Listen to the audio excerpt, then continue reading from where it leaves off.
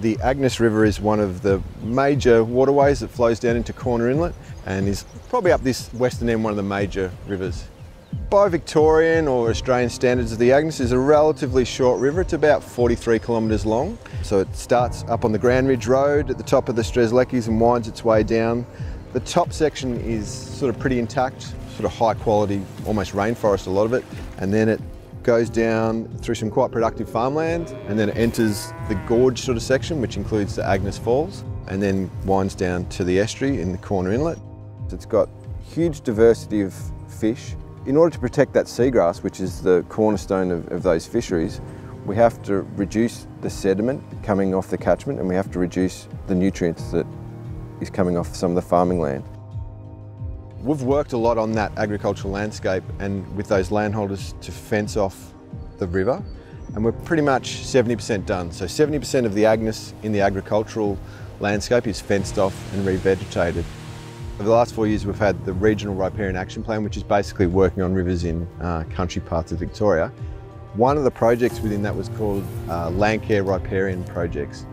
Basically means working with landcare groups on rivers often those landcare groups have got, they've got it all lined up. They've got the landholders on board, they've got a vision at their local scale. And it's like they had the ember and we just had to blow a bit of air onto it to make it into a little fire. And that's what that project's about. It's about us finding those landcare groups that are ready to roll, got a vision, want to do something to protect their river, their creek, their wetland, and we just add a bit of fuel to the fire and um, stoke it up. The big picture is to revegetate the old road that runs down parallel to the river all the way down to the bottom of the gorge. It's about three to four kilometres in length. Most people in Victoria and Australia who come and visit the Agnes Falls don't know about this part here. So part of our plan is to make this very well known so that people can enjoy this part of it too. There's 9,000 acres of catchment here and a lot of it comes down to this, just this. We see this as a potential wonderful tourist track that will attract people and provide them with this beautiful opportunity to see this view and to link it to their visit to Agnes Falls.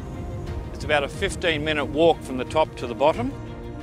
We're going on a major revegetation project which will look at revegetating this side of the falls.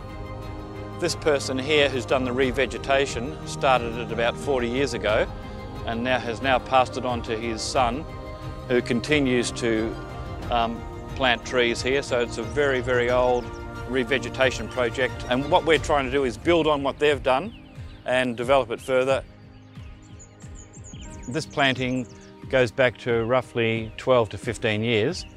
And um, what we're finding now is a lot of um, self-seeding and self-sowing is going on.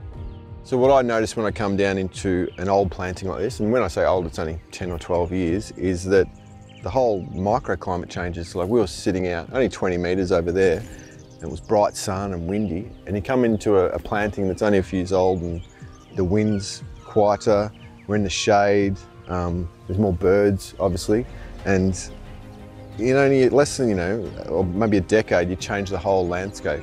And in that time, you start to see those natural processes start to replicate and you get more natural recruitment of other plants. And that's what we're trying to do often is just set things in motion. That's what Bryan and the Agnes River Landcare Group are really trying to replicate all the way along the, the river system. So, and we're here to help them.